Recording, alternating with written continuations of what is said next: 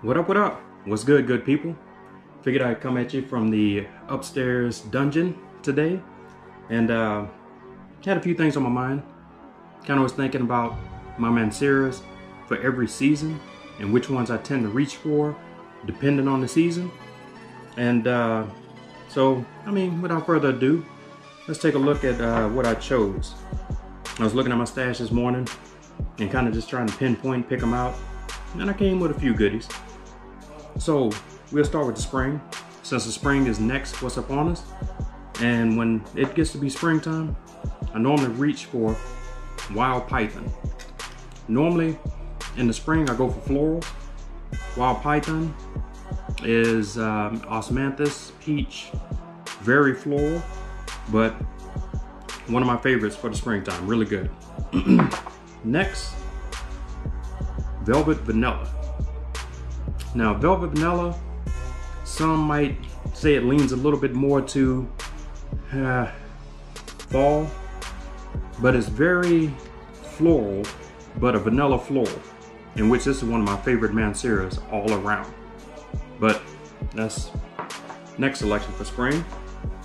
Next, Roses Greedy. Yeah, that just, that screams spring. I mean, this is like just flowers blooming. I mean, this is just perfect for spring. Roses Greedy. I don't reach for it as much as I should, but in the springtime, I seem to pump hard on this one. I mean, this is this is really good juice for the springtime. And uh, so next, go in reverse. Let's go back to the fall. I mean, sorry for the um, for the winter. In wintertime, I go for black vanilla.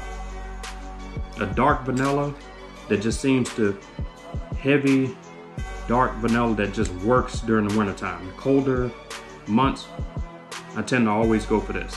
Really good. And also, this one might not be popular for the wintertime, but Jardin Exclusif. Something about this just reminds me of a Christmas tree.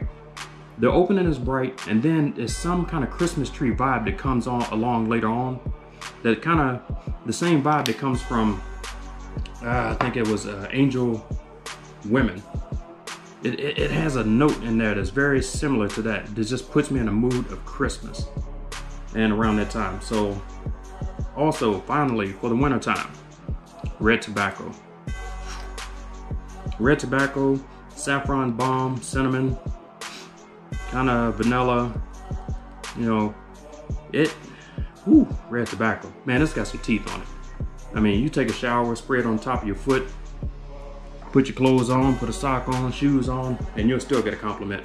That's gonna last until, you know, a couple of squirts of that last till 2022. I mean, that's, that's, whoo. Now, reverse back to fall. In fall time, I tend to go for Choco Violet.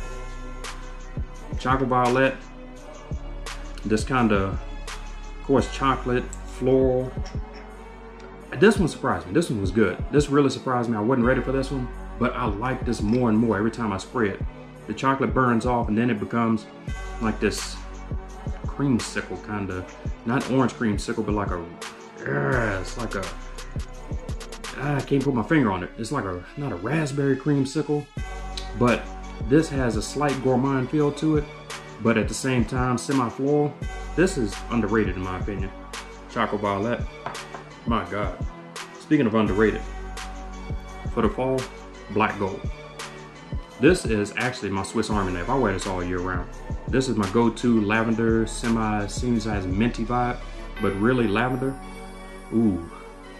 This actually is amongst my favorites of Mancera all around. I love black gold.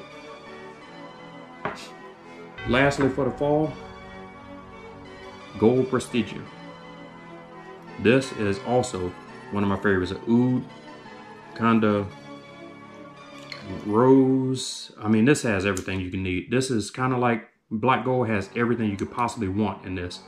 All around great fragrance. Underrated as well. Most of my falls just underrated, honestly.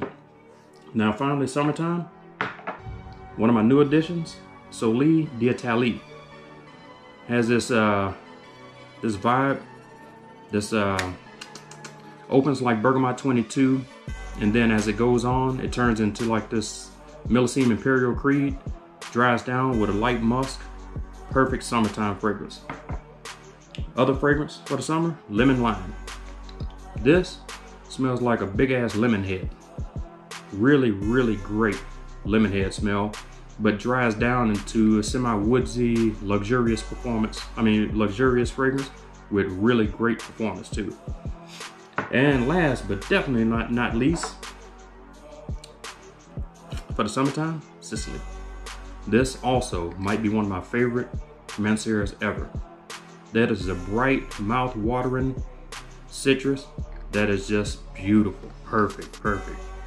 And that is kind of just a quick little synopsis of the fragrances and what season I wear them in when it comes to Mancera. But uh, let me know what you think. Let me know what you think about, you know, if you want to switch any of these around season-wise, or what you prefer for certain seasons when it comes to Mancera. These are my just kind of quick thoughts this morning on a kind of just grabbing, seeing what I would like to wear sometimes. Uh, during what time of year, which here in, you know, Texas is always warm, so go figure. And I know you're figuring, why? What's up with wild candy? I don't know. Just what I felt today. That's it. Just wanted to wear wild candy today. Another great fragrance from Mancera. Mancera is my favorite house, quite honestly. Um, I just love what they do. They they have fragrances for every spectrum, and whatever you need, they got it. That's just all it is to it when it comes to Mancera. But that's just my brief thoughts today. But uh, let me know what you think. Comment down below if uh, there's another fragrance you feel like I forgot. I know I was thinking of Cedrat Boise, but I just couldn't fit that in there anywhere. I also have that, but I just didn't didn't didn't tickle my fanny today. But uh, let me know what you think about any other fragrances, Mancera, what you prefer. And um, hey, until next time, hey, y'all be good.